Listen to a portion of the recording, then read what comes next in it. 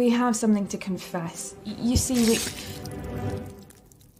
Excuse us. You stabbed me. You can't prove that. Tom, you're literally red handed.